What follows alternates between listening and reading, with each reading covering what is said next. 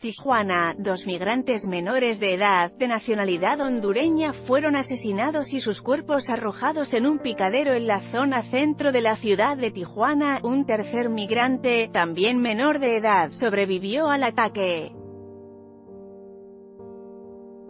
Los hechos se registraron durante el día sábado 15 de diciembre. Las víctimas salieron del albergue para menores YMCA, ubicado sobre el Boulevard Cuauhtémoc Sur con dirección a la zona centro. En el trayecto, en las inmediaciones de la calle 10 fueron abordados por dos mujeres con las que entablaron una conversación y con quienes decidieron retirarse para continuar dialogando.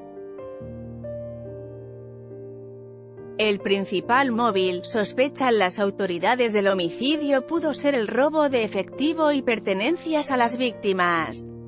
Según medios locales como Uniradio informa, Jorge Álvarez, subprocurador de Justicia Zona Tijuana precisó que tras la conversación con las mujeres un par de hombres se aproximaron a los migrantes para preguntarles cuánto dinero tenían.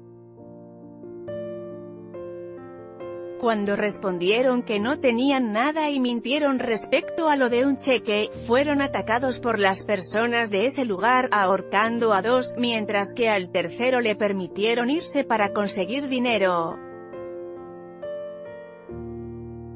Finalmente Álvarez apuntó que ya se tiene un avance del 80%, aunque aún resta conocer si los finados cuentan con familia, pero el caso ya fue avisado al consulado para conocimiento de su país de origen, con información de El Sol de Tijuana, Sociedad encuentran restos humanos dentro de siete bolsas en Chilpancingo.